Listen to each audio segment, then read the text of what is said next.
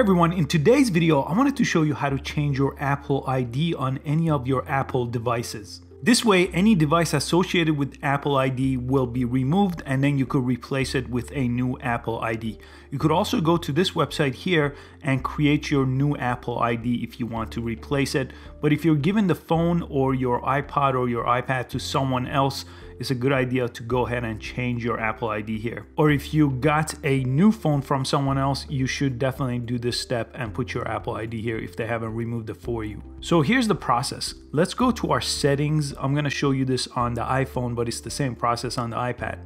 And under the settings page right on top, you want to click your name here the Apple ID that should already be signed in. We're gonna remove this and replace it with a different one. So go ahead and press that and it will take you to this page where you have to scroll all the way to the bottom of the page. On the bottom of the page, you will see a sign out option. Go ahead and press that and it will bring you to the Apple ID password page right here where you should type in your current Apple ID password. This is the Apple ID that we're gonna turn off. So I'm gonna go ahead and do that. And once you type in your Apple ID password here, press turn off. Now this page is important, so pay attention here. It says keep a copy of your data on this iPhone. If you're getting rid of this iPhone or you're giving it to someone else and you want them to use their Apple ID, go ahead and leave everything unchecked as you see it. If you're using a different Apple ID and you want to keep these on your iPhone, go ahead and select all these to keep a copy of them on your iPhone because the moment you press sign out, it will connect this to your iCloud and it will back it up. But if you erase it from your phone, then you will have to download it again. So just go ahead and read this little description on the bottom just to make sure you understand this process. But I am going to keep everything because I'm just making this for demonstration purposes.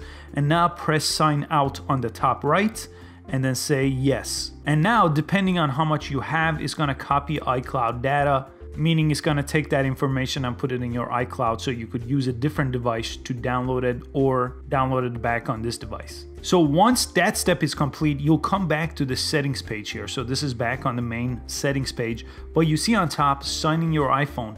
The iCloud is no longer visible here, so it's been removed. So you have to tap that again, and it will bring you to this Apple ID page where you have to sign in with the new Apple ID. Like I showed you in the beginning, on appleid.apple.com, you could create a new account here if you wanted to do that. And then over here, you could use that account to sign in. But if you give this to someone else, they could simply use their Apple ID to connect this device to their Apple ID. So type in the Apple ID here and the password here and press next, and it's gonna simply sign into the new Apple ID.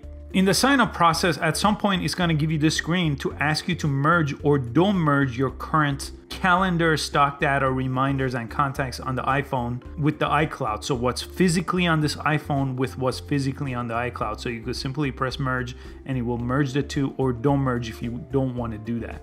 And you will finally get back to the settings page here where the Apple ID, the new one, should be visible on the top. If you simply just wanted to remove it, you didn't have to do this additional step. And as soon as you signed out, you could have just left it and then you could go ahead and wipe your phone which you could find here under general and you could come here and press reset here and you could go ahead and reset everything on your phone if you just wanted to get rid of this phone and wipe it clean. I hope you found this video useful. Please give it a thumbs up and subscribe to this channel for easy to follow tech videos so next time you have a tech question, you could just jump in on this channel and find your answer. Thanks so much for watching and I'll catch you next time.